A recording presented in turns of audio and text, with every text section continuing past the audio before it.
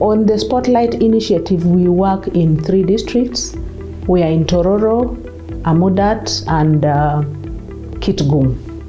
Yeah, and uh, we work with the networks, our networks in those districts. So it's about mobilization of networks right from the sub-county level to the district level and building capacity of uh, those women to understand what are the policies that relate to violence against women, what are the laws that relate to violence against women, and what are the issues. And those issues, the women actually are, are now the ones who identify.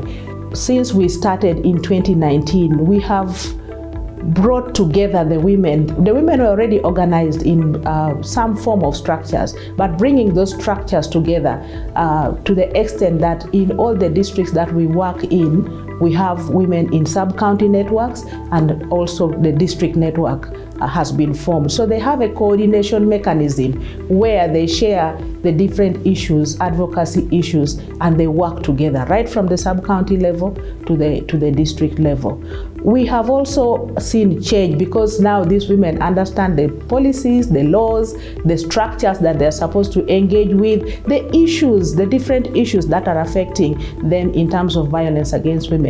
16 days of activism for us in the women's movement is that time when we amplify whatever we have been doing in terms of raising uh, voices uh, on the demand for more to be done in terms of ending violence against women. That means prevention, that means responding Uh, uh, to, to ending violence against women, and a call to everyone, to all the actors to take part in these processes. Because a violent commu community is a community that cannot develop. A community where many of many people will not enjoy their rights. So it's a call to everyone and that's the time that we amplify the, the voice. I want to see the work on violence against women and girls being taken on by everybody it's not just a women's cause it's not just the cause of people in positions for example the police